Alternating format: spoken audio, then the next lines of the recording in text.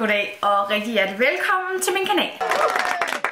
I dag der skal jeg lige huske at starte med at sige, at den her video den er lavet i samarbejde med Maybelline.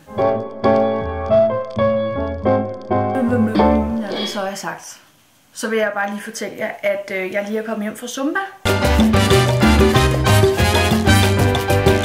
Det er sjovt. Det er jazz, og det er swing, og det er zumba. Men det, der kan være lidt irriterende ved det, det er, at når jeg så kommer hjem fra zumba, så er min hud helt sådan opkogt og fedtet og rød og svær at dække. Og der er det jo så, at det er helt vildt heldigt, at jeg lige har fået det her gode produkt. Super Stay Better Skin Powder Foundation. Skal I lige se den? Den er i min nye taske. Nu tænker jeg sikkert, at det skulle være en flot taske. Den var rigtig dyr.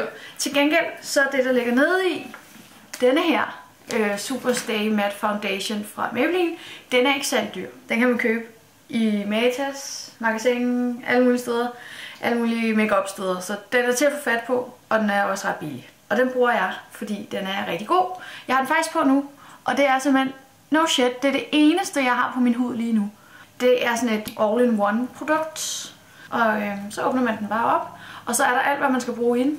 Der er sådan en applikator, som I kan se, jeg har så brugt lidt af. ja, så tager man det simpelthen bare øh, på den her pad og, og bruger det. Jeg har valgt den i den farve, der hedder Sand 030.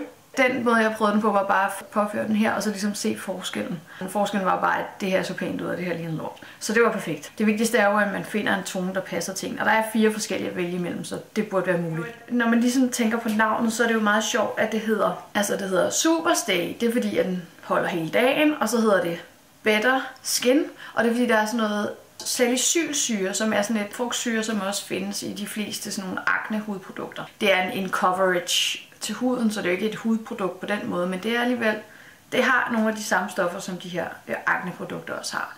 Og det synes jeg bare er meget fedt. Og øh, det, som der også er rigtig fedt ved den her, det er, at man også kan lægge den under øjnene, i øjenområdet.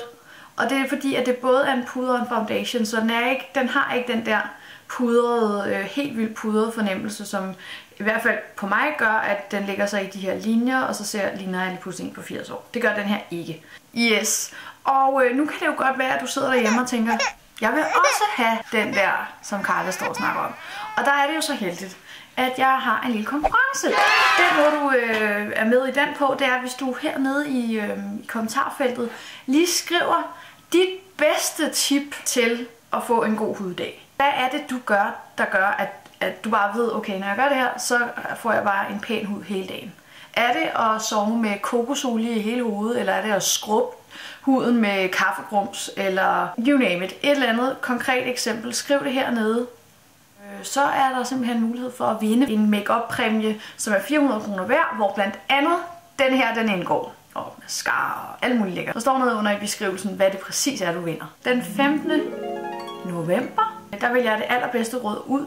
Og øh, så er der simpelthen ikke andet for at sige, end må det bedste råd vinde. Nu tror jeg simpelthen bare lige, at jeg vil putte den her tilbage i tasken og skynde mig afsted, fordi min kæreste, han vil gerne have, at jeg kommer hjem til ham i en helvedesfart. Vi skal bage boller, og øh, det bliver hyggeligt. Jeg glæder mig. Og øh, så vil I også bare have en dejlig dag, hvad I nu lige skal nå i dag. Nu har jeg i hvert fald pæn hud og god samvittighed, fordi jeg har været til Zumba. Det håber jeg også, at I, at I får en dejlig dag med god samvittighed af en eller anden grund. Tak fordi I gad at lytte med, og øhm, vi ses bare på søndag. Ha' det dejligt. Hej hej!